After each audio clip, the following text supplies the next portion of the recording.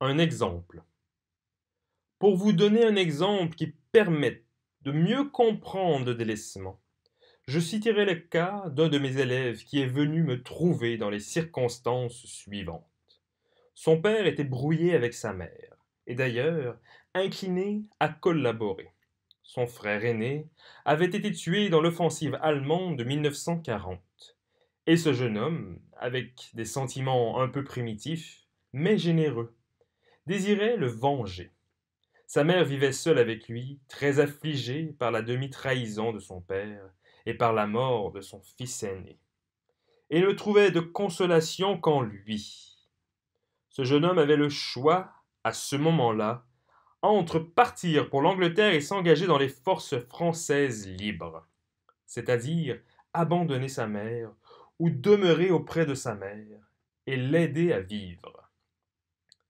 Il se rendait bien compte que cette femme ne vivait pas par lui et que sa disparition, et peut-être sa mort, la plongerait dans le désespoir. Il se rendait aussi compte qu'au fond, concrètement, chaque acte qu'il faisait à l'égard de sa mère avait son répondant. Dans ce sens qu'il l'aidait à vivre, au lieu que chaque acte qu'il ferait pour partir et combattre était un acte ambigu qui pouvait se perdre dans les sables, ne servir à rien. Par exemple, partant pour l'Angleterre, il pouvait rester indéfiniment dans un camp espagnol, en passant par l'Espagne. Il pouvait arriver en Angleterre ou à Alger et être mis dans un bureau pour faire des écritures. Par conséquent, il se trouvait en face de deux types d'actions très différentes.